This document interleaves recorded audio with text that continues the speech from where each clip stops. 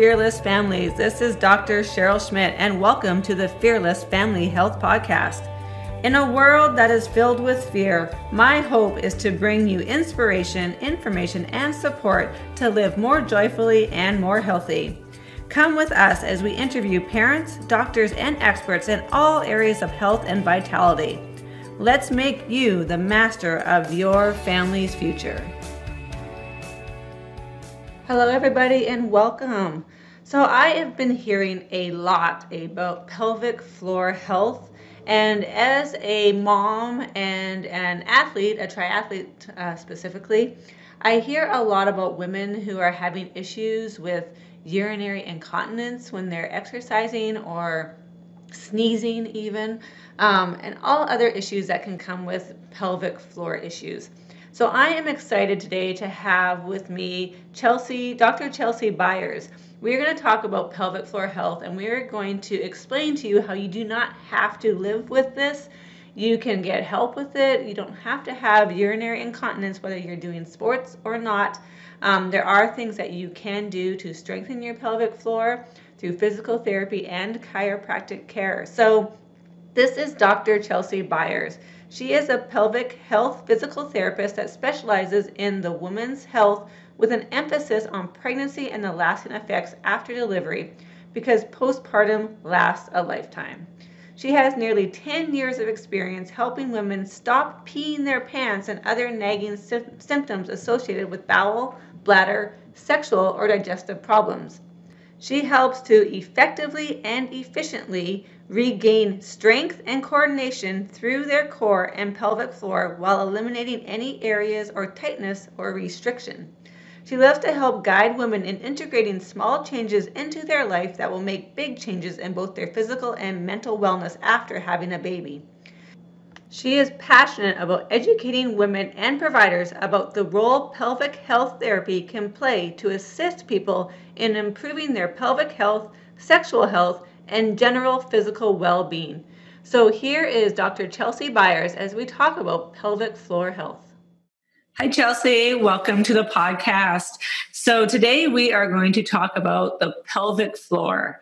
We've been hearing a lot about it, or I've been hearing a lot about it recently because I take care of a lot of pregnant women and women who just had babies and having pelvic floor issues and going to pelvic floor physical therapy. So, first of all, welcome. Thank you.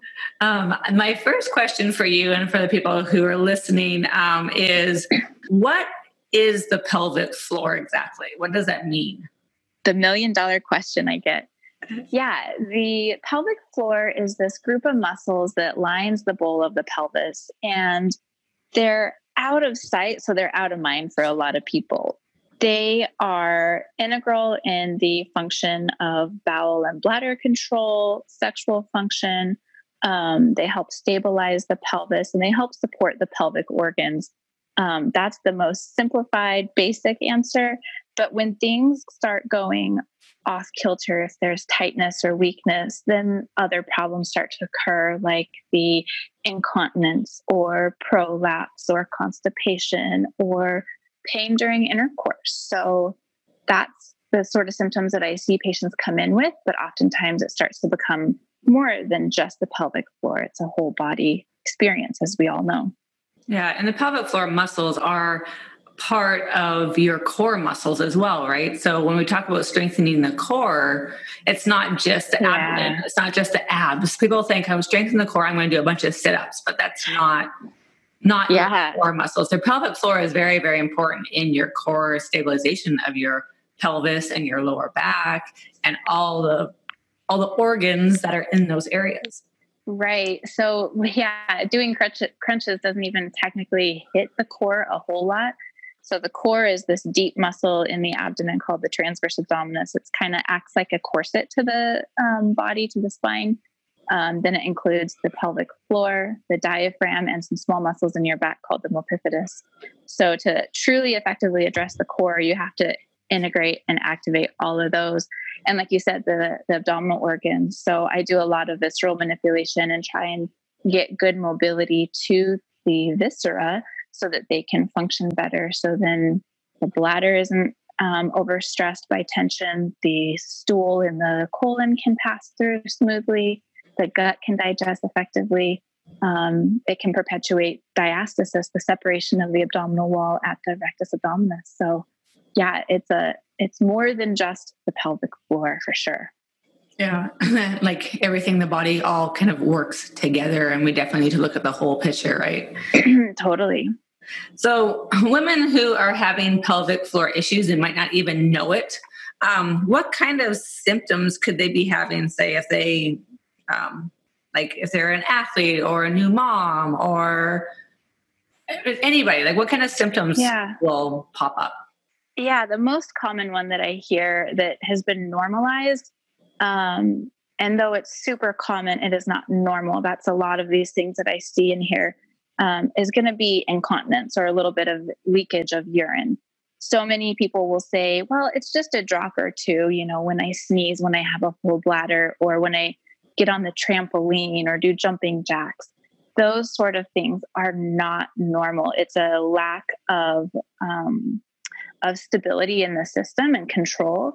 Uh, it can be from maybe holding the breath or maybe you're trying so hard and pushing so hard that you're creating a southward pressure onto the bladder to create that. So I see it in athletes who haven't necessarily had children or anything like that. Um, so, yeah, that would probably be the number one thing. Um, the second one that I hear, probably most common, is constipation. They think that it's just their body, that's their normal.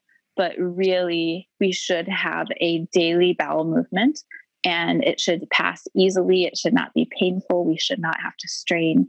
So, really working with people to change um, different mechanical functions of that and how to get that to move a little bit easier.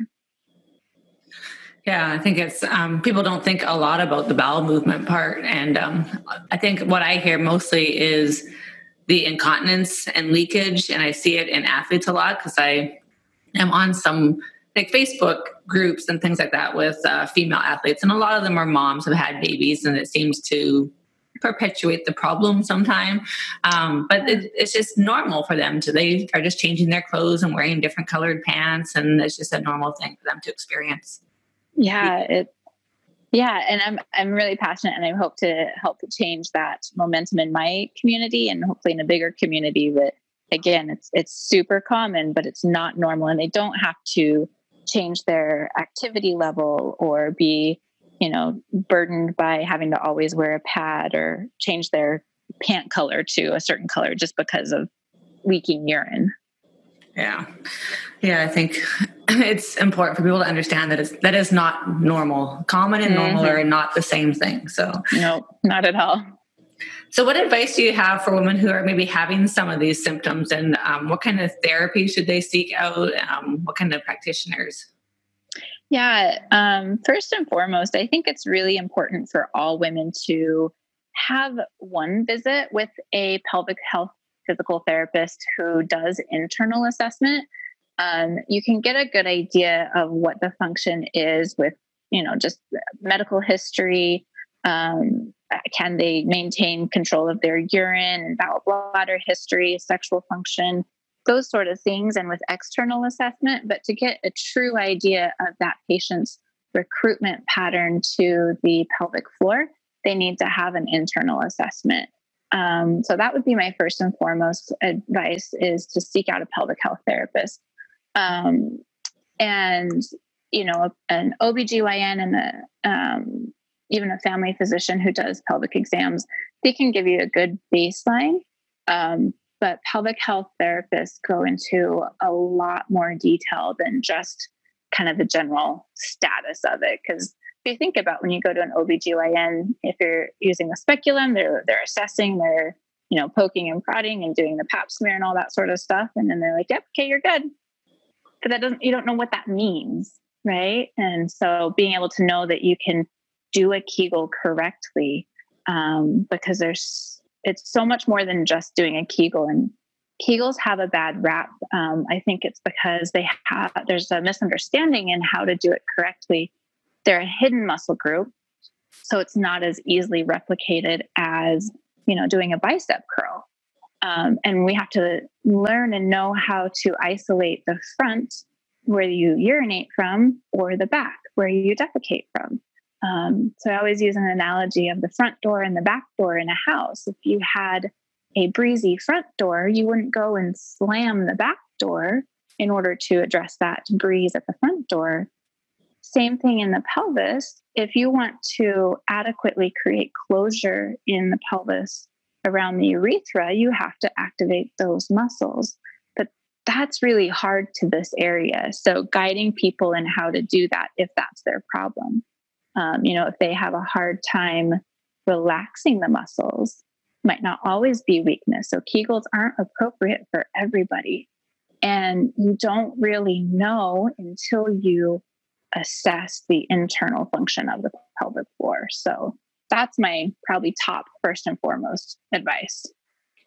Yeah, it's just another example of not every body is the same, and you can't just give everybody the same exercise or the same you know, treatment protocol to be able to help them. It's you know you need to have an individual assessment. Mm-hmm, totally. And you know, some people that have come in, they think they're doing Kegels correctly, um, but then they're squeezing like every muscle fiber in their body. You see their whole body tense up. And it, you shouldn't see that. You should not be able to tell that somebody is doing a Kegel by external observation. Um, unless you're looking at the perineum, of course, you should see kind of a lift there. But outside of that, you really shouldn't see a whole lot of movement. So if you're seeing that, there's doing they're doing something a little bit off. And it can create more problems for them too. I have a whole bunch of people listening right now who are trying to do a Kegel and wondering if exactly right. like, am I doing this correctly? yeah, it's always fun when I'm giving a talk and I start talking about what correct Kegel is and what's what's incorrect, and you can start seeing people kind of go into their head like, am I doing that right? So you said that the best way to get it assessed is through an internal exam. Now, there's a lot of mm-hmm. people who are probably a little bit nervous about having an internal exam. So, what do you do or say to help people get over that initial? Yeah, that's a great question. It's very different than your um, exam that for like a standard pelvic exam with a speculum. Um, we don't use speculums for internal pelvic health exams. Um, it's a single gloved finger, and we are just touching upon all of the muscles and all of the structures from the inside, and that can help us reveal. So I always explain, um, you know, if if there's something wrong, if there's something tight and problematic, again, if I can't touch upon that area, I'm not going to know truly without feeling it and seeing that it's going to reproduce that pain that that might be the problem source the driver of the pain. So if i am trying to get somebody to let go i need to teach them how to connect to that area. And in order to do so i i have to feel that. Um, if someone's really apprehensive you know it is 100% their journey. Um, so I guide them through that. And there's times when I haven't done an internal exam until maybe the third, fourth visit. Um, if somebody has any sort of trauma experience and it makes them, um, it's more of a trigger for them, then I might even hold off a, lot longer. I've had one patient that I worked with for a year before we did anything internal. Um, it's very much their journey. And in order for it to be effective, they have to be understanding of it. So, just explaining the process that I'm just going to gently touch upon all of the structures externally first to get an idea of any sort of tightness or tenderness, just because that can give me an idea of what might be going on internal. And then going within, there's three layers of pelvic floor muscles and touching, touching upon each of those muscles, again, assessing for that tightness or tenderness. And if it reproduces the pain, okay, then we start working on releasing that right away and easing that. And then, if everything's okay and it's appropriate to do Kegels, assessing for that recruitment pattern, guiding them to do it correctly if it is kind of off. And then I also want to see for prolapse, I have them hold their breath and push may do that for three to five repetitions and have them hold it for a few seconds to give me an adequate assessment of that that mobility of that organ if that is present so i can get a, a more true assessment of, of what that function and mobility of that organ is. Yeah, I think it's important that people understand that it is a safe environment and um, they can go into these appointments knowing that there's nothing's going to be forced on them and it is um, going to be guided and gently done because some people definitely have had traumas and yeah. don't want them to not get the care that they need um, because of the fear that they might have around that.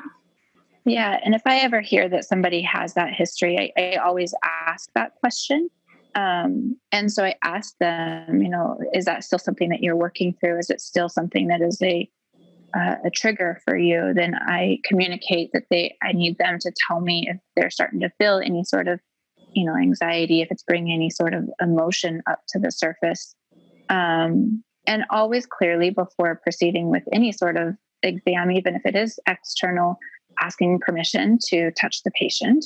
And you know if they want me to stop at any time they just need to ask me. But i i need to have their verbal consent as well as them understanding that they need to tell me if something doesn't feel right to them so that i can fix it as quickly as possible. Yeah that's awesome. So when you're talking about prolapse are you talking mostly just about uterine prolapse Hmm, no, I actually, um, any of them. I see uh, the bladder or a cystocele, as it's called. Mm-hmm. Um, I'll see the urethra uh, bladder combination, um, uterus, uh, rectocele, or the rectum. Um, I've seen a handful of the small intestine kind of descending in between the the uterus and the rectum, but um, that one usually gets caught before a patient comes to me. Um, that's the most common that I see. So is is pelvic floor therapy something that people can do if they're maybe at the point that they're looking at surgery for prolapse?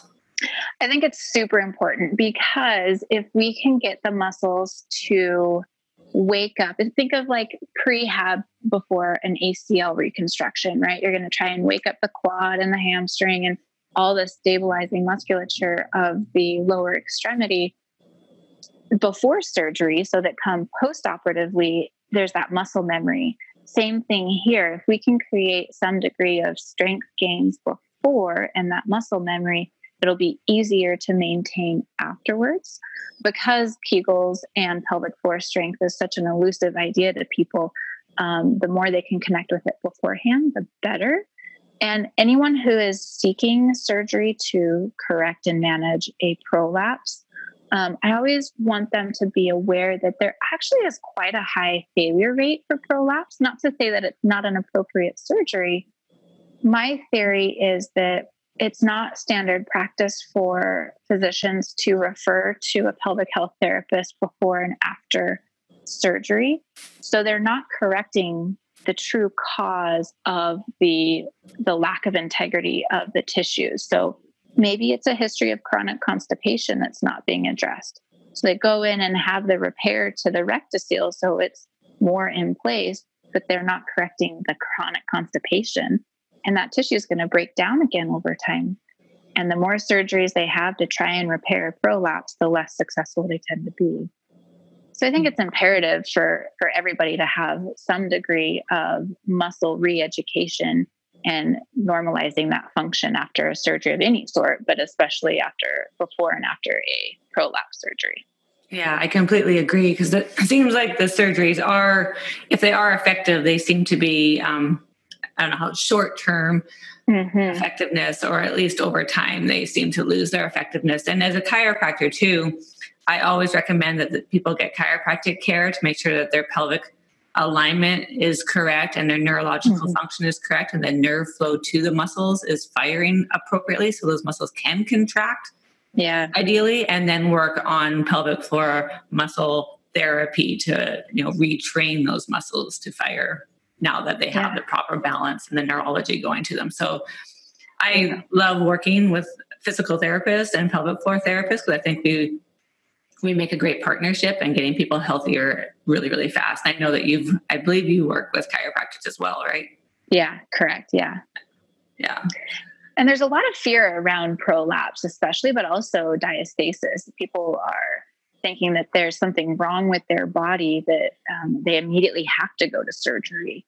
But, you know, if you've had a few kids, you're at a higher risk of having that prolapse. But I always, with any surgery, want to ask a patient, how much is it impacting and limiting your life? If it's not, if it's more of a cosmetic thing, that's your choice, that's your journey.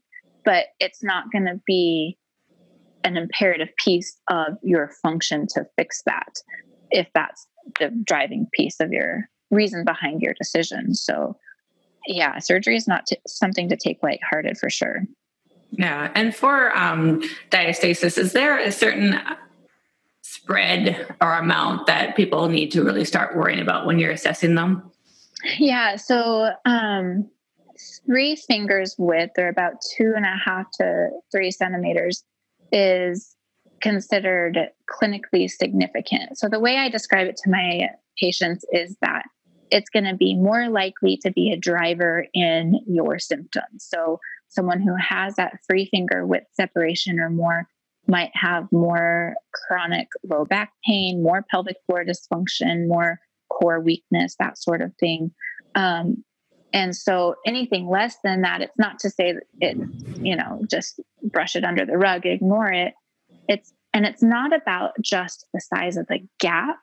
And that's a big misconception and misunderstanding in society and in the conversations that are being had on social media it's about the depth of that gap. So the spread is normal. All women who go through a pregnancy will get a diastasis to some degree.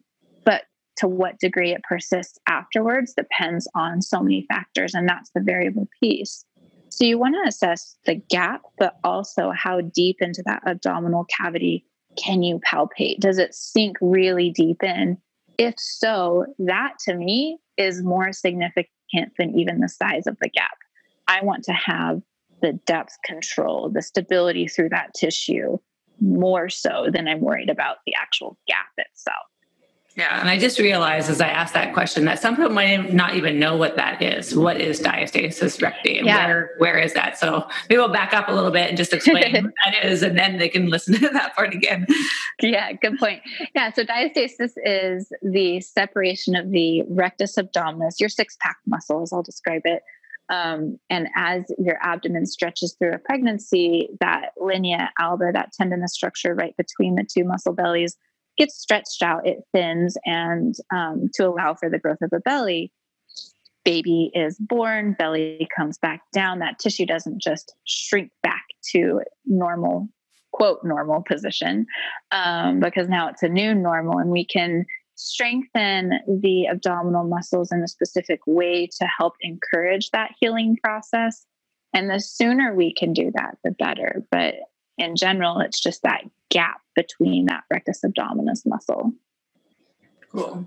So, are there any um, suggestions that you have for women who may not necessarily have any symptoms or can't make it to a pelvic floor specialist right away, but oh, who are having babies or getting pregnant? Just any exercises, any movements that you would recommend that they do to help heal and or prevent or minimize any issues?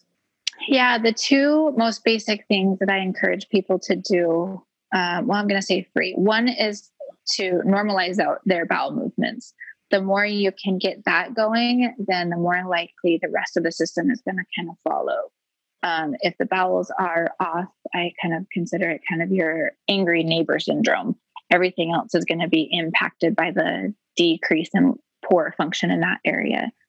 Um, new moms, especially, but anybody who's experiencing symptoms, I encourage them to exhale as you're doing any sort of lifting movement or anything of moderate weight. That way, you're not holding your breath and creating that southward pressure. Um, and just drawing that belly button in to protect that core when you're lifting is the other piece. So you want to engage, but you don't want to hold your breath again, that's going to create that pressure southward. I would generally say Kegels is a great place to start. Again, so many people do them incorrectly. Um, you know, you should feel a lift, you shouldn't feel a push. If you're unsure, then by all means talk to a pelvic health specialist. Um, there's some good online programs that are available that people can utilize. Um, and I'm actually in the process of creating one that I'm hoping to get out by the end of the year. Um, so it's going to be a hybrid of you're going to be able to ask me questions. It'll be online group coaching. Um, I'll deliver the exercises live for a six week period and educate and guide women through that sort of um, experience. So there's there's options out there for online programs. Cool. So, any other questions that you normally get that I haven't asked? Because you're in this every single day, and so um, anything that I missed you want to talk about? Hmm. I get a lot of questions about wearing the baby. Um, that's probably one of the my most common ones. Is is that okay for me to do? I like wearing the baby because it, it allows mom to be functional. Um, but at the same time, it does create that extra stress. So if baby is appropriate to be on the back, I like that a little bit better than just front wearing. Um, and doing so for short periods, I feel is okay. Of course, if anybody has low back pain, um, they might want to deter from that. Um, it, it, can just aggravate it more than help it, of course. Um, intercourse, I have a lot of questions that come up about intercourse. My biggest thing that I talk about for women with intercourse is appropriate lubrication. Um, I steer women towards silicone based lubricants because they tend to be more forgiving as far as um, friction goes. Um, you know, there's an appropriate, you want, some degree of friction to create that arousal, but you need to have um, have some decrease in friction for comfort too because if it's too dry it's going to be abrasive mm-hmm. so a, a good lubricant and a even a vaginal moisturizer for care for women who are menopausal or even nursing mamas will benefit from a vaginal moisturizer um, then the other thing that people don't know and and you know i understand it can be a challenge with kids is uh, foreplay women need 18 to 25 minutes of foreplay in order for full physiological arousal. So, working through the challenges of discomfort with intercourse, um, some of those tips can be easily implemented and quickly improve a, a person's sex life. Yeah, we recently did a podcast on sexual taboos, and we talked about that too. How women women have a longer warm up period, and we need to understand that and honor that too. Yeah. And as far as kids, you're talking about the kids carrying, um, and you're saying that carriers, are there certain carriers that you like? Because I think a carrier is going to be better for mom and baby than carrying them around in a car seat because just ergonomically, mm-hmm. it's horrible for moms to carry a baby around in a heavy car seat with a heavy baby in it and the weight is away from your body. Um, it's just not good. It causes lots of problems. Yeah. Um, but are there certain infant or baby carriers that you prefer? Mm, I kind of lean towards the Ergo 360 um, or the Tulas. Those two have been um, pretty good. Um, yeah, you know, it's a challenge because it, it's almost like you're perpetuating the pregnancy. The baby's worn in a little bit different position, but you continue to have that kind of shift in your posture in order to counteract the change in your center of mass with the baby being in front of you. So it's a challenge for sure, but those would probably be my top two that I I prefer and see the most success with. Yeah, those ones I think are the easy are easier ones too for uh, for use. They're not too complicated. Um, I I personally really like wraps because mm-hmm. I think mm-hmm. wraps actually take some of the bulkiness away and they come closer to the body. But they are there's a little bit of a learning curve with those, and it's a little bit harder to convince some people to use them because they are a little bit more cumbersome. But once you figure out I actually really love them. And you can use them on the front and the back. So yeah, and I do like those, especially for newborns, where they can be held kind of at the shoulder almost. Yeah. Instead of being immediately in front. But yeah, I do like the wraps as well. Yeah. Cool. Cool. Um, this is great information because I think a lot of people um, have questions about the pelvic floor, but they're almost in a, don't want to ask because you know it's the private part area. They're a little bit yeah. uh, concerned and then they're embarrassed because if they have leakage or um, or pain during like things people just don't want to talk about a lot. So i'm hoping that this gives them a lot of information and hope and they know now who to seek out and that these problems although they are not normal they are common and there are things you can do about about it. And it's it's a two-way street because providers aren't asking the questions directly either you know patients don't know they think that it's normal or they don't want to talk about it either way but also providers aren't asking those direct questions. And you can ask simple ones you know about do you have any sort of leakage? Even a drop or two. Do you have regular daily bowel movements? Is your sexual activity comfortable? Those simple questions can get a lot of information um, in regards to that. And anybody who's looking for a pelvic health therapist in their area can go to pelvicrehab.com and you can search um, from your area and find people who are um, trained in, in pelvic floor therapy. Cool. And how do people reach out to you if they have questions or if they want to learn about your program that's going to be coming up here in the future? Yeah, so you can go to my website. Uh, I my business is Treasure Valley Pelvic Health, so it's tvpelvichealth.com. Um, that's my general clinical site, and you can sign up for my newsletter from there. And I will be updating everybody on that newsletter um, list for the Beyond Birth program that will be coming out later this year. Awesome. I um and yeah, send it to me too and and you have some more information or you have it launched and I'll try to spread the word out and let people know about it too. And of course I'll put the links to both your site and your contact and the pelvic um what was the pelvic pelvicrehab.com pelvicrehab.com so i'll put links to all of those in the show notes as well and let people know about it so they can reach out and find someone and help them with all these issues that they might be experiencing because we want to live healthy and happy and not have these symptoms it's just it's not normal people yeah it's not worth it you don't you can live a free and happy life Thank you, Chelsea, so much for joining us. Um, I will get all the information out to you, and I hope you have a wonderful day. All right. Thank you. Bye.